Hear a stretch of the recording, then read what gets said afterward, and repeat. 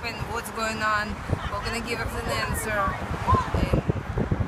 we want to know where our life will go back to normal. Oh, we're so tired waiting for an answer. No answer for any question. No help. So.